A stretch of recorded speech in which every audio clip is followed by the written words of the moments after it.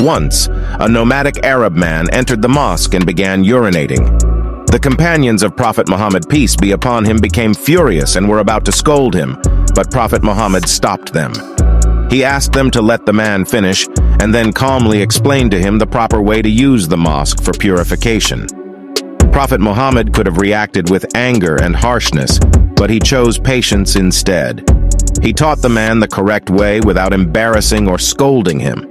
The lesson here is that instead of responding with anger or frustration, it's better to approach situations calmly and with the intention of educating and helping others.